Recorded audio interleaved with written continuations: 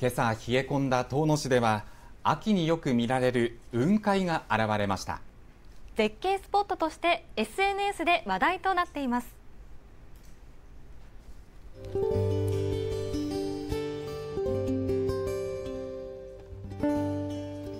午前5時ごろ遠野市内の展望台から見えるのは街を包み込む一面の雲海です夜湿度が高く翌朝冷え込むこれからの時期比較的よく見られるそうで絶景スポットとして SNS で話題になっています。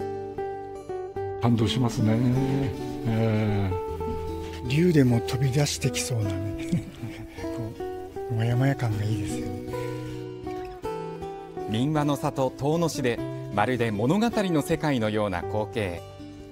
市の観光協会によりますと11月中旬頃まで楽しめるということです。